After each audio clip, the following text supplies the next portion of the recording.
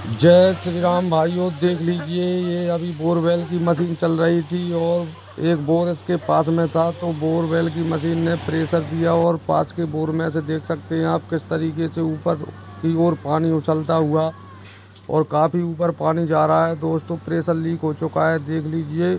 और ये बारे बोर में कम पानी था, इसमें मोटर भी डली हुई थी और इस मोटर भी साथ में निकल चुकी है।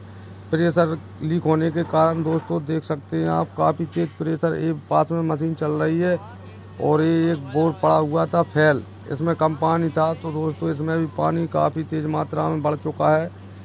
जरेस की खुल चुकी है, देख सकते हैं आप।